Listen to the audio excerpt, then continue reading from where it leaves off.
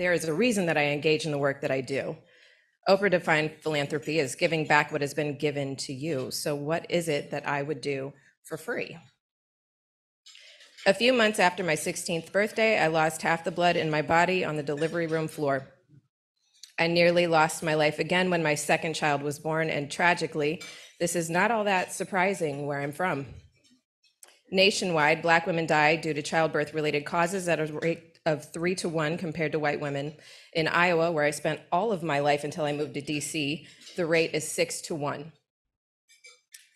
At that young age, I didn't have much agency or much time to invest in considering the larger context in which my children had nearly grown up motherless. I was focused on other things aging out of foster care as a mother of two, surviving and overcoming poverty, working and attending college. In undergrad, I read a book called Medical Apartheid that illustrated the mortality gap. And it was then that I realized I wasn't alone. There is so much more work to be done to address the inequities that are literally killing us. Years later, a friend of mine posted on social media about the near death of Serena Williams and Beyonce Carter. Local women, Black Iowans, professionals, professors swarmed the comments section. If Beyonce isn't safe, none of us are safe.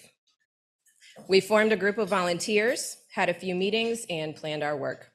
Our first events were story gathering sessions and trainings focused on self advocacy so that women knew what to expect and how to speak up on their own behalf in the event no one else would or could. Vice News came to Iowa to follow our progress. Our story became a podcast episode and multiple news articles.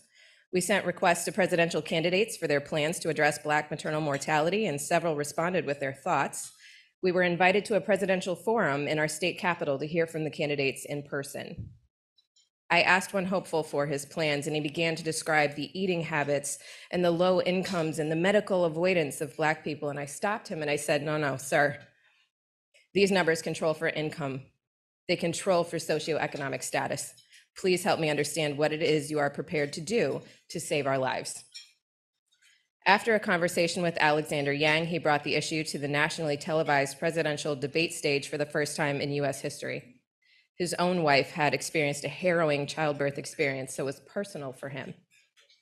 We hosted our first conference in 2020, and our keynote speaker was Loretta Ross, author of Medical Apartheid, the book that had let me know in undergrad that I wasn't alone. Philanthropy is giving back what has been given to you. I was given a second and a third chance at life. This is the work that I would do for nothing because I have already been paid in full. I am grateful to be able to join all of you in Rotary, where we employ our passions in the service of others. Thank you.